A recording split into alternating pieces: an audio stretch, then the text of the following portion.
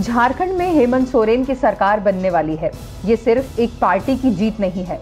कांग्रेस के साथ झामुमो यानी झारखंड मुक्ति मोर्चा और लालू की पार्टी राजद ने मिलकर ये चुनाव जीता है।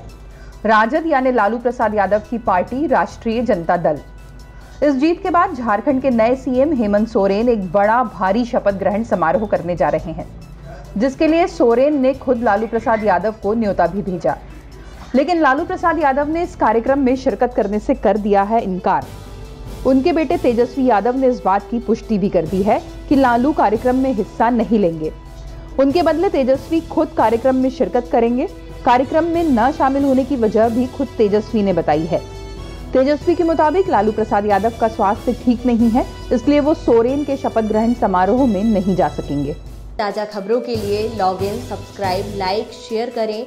www.newslivemp.com